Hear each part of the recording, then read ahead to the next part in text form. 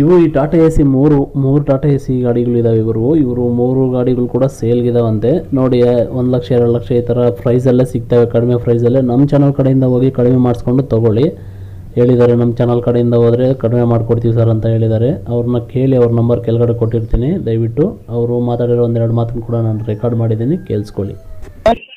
ಹೇಳಿ ಸರ್ ಎರಡು ಸಾವಿರದ ಹನ್ನೆರಡಾ? ಒಂದು ಹನ್ನೊಂದು ಸರ ಒಂದು ಮಾಡಲ್ಲ ಟಾಟಾ ಎಸಿ ಅದ ಎರಡು ಸರ ಹನ್ನೊಂದು ಸರ ಎರಡು ಸಿಗೋದು ನೀವು? ಎರಡು ಮೂರು ಬಿಟ್ಟು ಸರ್ ಗಾಡಿ. ಅಲ್ಲ ಇವಾಗ ಕಲ್ಸಿರೋ ಟಾಟಾ ಎಸಿ ಮೂರಾ? ಹಾಂ ಮೂರು ಸರ ಎಷ್ಟು ಸರ್ ಇವು ಮಾಡಲ್ಲ? ಒಂದು ಹನ್ನೊಂದು ಸರ ಹನ್ನೊಂದು? ಹಾಂ ಒಂದು ಒಂಬತ್ತೈದು ಸರ್ ಒಂದು. ಹಾಂ. ಒಂದು ಇನ್ನೊಂದು ಸರ್ ಈ ಮೂರು- ಹನ್ನೊಂದು ಸರ್ ಈ ಮೂರು ಎಷ್ಟು ಪ್ರೈಸಲ್ಲಿ ಇದಾವೆ ಸರ್? ಒಂದು ಎರಡು ಹತ್ತು. ಎರಡು ಹತ್ತ? ಹ್ಞೂ ಹಾಂ. ಒಂದು ಎಂಬತ್ತು ಸರ ಒಂದು ಎಂಬತ್ತು.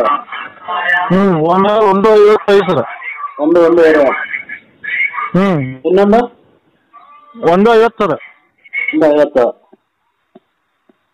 ಆಯ್ತು ಆಯ್ತು ಸರ್. ಮೂರು ಅಪ್ಡೇಟ್ ಮಾಡ್ತೀನಿ. ನಮ್ಮ ಯೂಟ್ಯೂಬ್ ಇಂದ ಬಂದವ್ರಿಗೆ ಕಡಿಮೆ ಮಾಡ್ಕೊಡಿ. ಕಮ್ಮಿ ಮಾಡ್ತೀರಾ?